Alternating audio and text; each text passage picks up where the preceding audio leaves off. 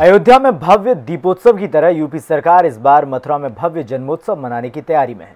सात दिनों तक कान्हा नगरी में इस भव्य आयोजन को मनाया जाएगा।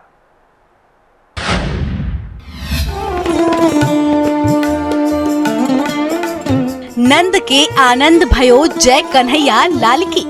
इस बार मथुरा के भव्य जन्माष्टमी का नज़ारा सारी दुनिया देखेगी। कान्हा नगरी की अलौकिक अनुपम छटा की गवाह न सिर्फ़ ब्रजवासी, बल्कि देश विदेश से आए लाखों कान्हा भक्त बनेंगे। इस बार यूपी सरकार मथुरा में कृष्ण जन्माष्टमी के आयोजन को ऐतिहासिक और अभूतपूर्व बनाएगी। देश और दुनिया के कलाकारों का जमावड़ा होगा। गली गली में झांकी सजेगी। हर गली में कृष्ण धुन सुनाई देगी। सात दिनों तक चलने वाले इस महोत्सव में प्रदेश के मुखिया योगी आदित्यनाथ खुद शिरकत करेंगे। यूपी सरकार ने आदेश दिया है कि अयोध्या में दीपोत्सव की तरह मथुरा में जन्माष्टमी भी मनाई जाएगी। मुख्यमंत्री की तरफ़ से ग्रीन सिग्नल मिलने के बाद सांस्कृतिक विभाग ने युद्ध स्तर पर अपनी तैयारियाँ शुरू कर दी हैं। इस बार मथुरा में 17 से 25 अगस्त के बीच भव्य मेला आयोजित किया जाएगा। योगी सरकार ने भगवान राम की अयोध्या वापसी की खुशी में दीपावली मनाए जाने की पौराणिक मान्यता को उत्सव में उतारा है। पिछले दो साल से वहाँ दीपोत्सव का भव्य आयोजन हो रहा है। योगी के निर्देश पर वृंदावन में भी होली के भव्य आयोजन और ब्रांडिंग की शुरुआत हो चुकी है।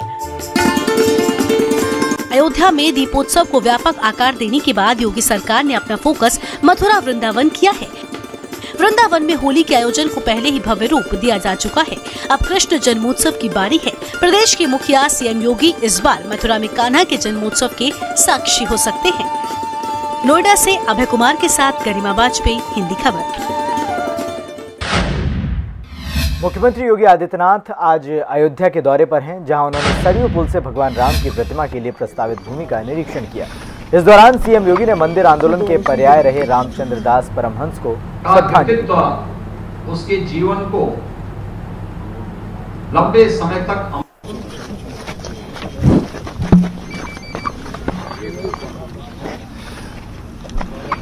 तो आज अयोध्या दौरे पर पहुँचे हुए हैं। और इस अयोध्या दौरे में परमहंस जी को श्रद्धांजलि देने के बाद मुख्यमंत्री योगी आदित्यनाथ ने कहा कि जिस तरह से हमारी सरकार ने पिछले दो सालों में अयोध्या के लिए जो काम किया है वो पिछली किसी भी सरकार ने नहीं किया और अयोध्या का जो पहचान थी वो वापस दिलाई है।